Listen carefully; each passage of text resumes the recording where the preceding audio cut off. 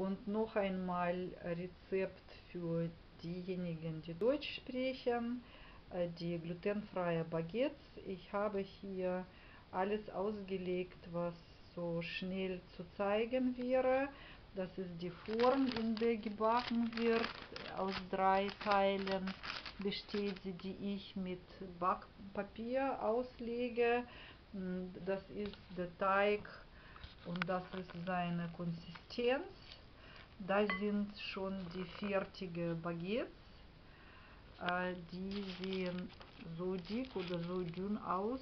Äh, äh, diese Portion Teig teile ich in drei Teile. Ich backe 35, 35 Minuten bei der Temperatur 195 Grad auf dem oberen Regal im vorgeheizten Ofen. Und äh, um was hier geht, um die neue, verbesserte von mir Rezeptur, die fast asketisch ist.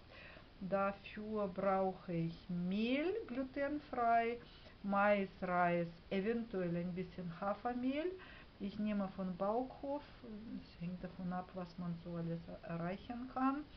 Ähm, dazu zwei Teelöffel, äh, zwei volle Teelöffel äh, Salz, dazu ein Tee bis ein Esslöffel Apfelsüße, dazu ein ähm, Päckchen äh, Backpulver mit ähm, Maisstärke, mit Rheinweinstein und mit Natron.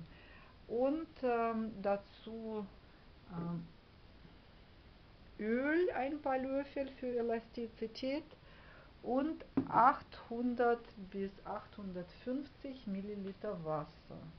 35 Minuten, 195 Grad. Ich habe alles gezeigt, was vielleicht noch zu wiederholen ist, ist die Konsistenz. So sieht es aus. Ich mache es ganz dünn, damit es gut goldig durch ist. So ist es im,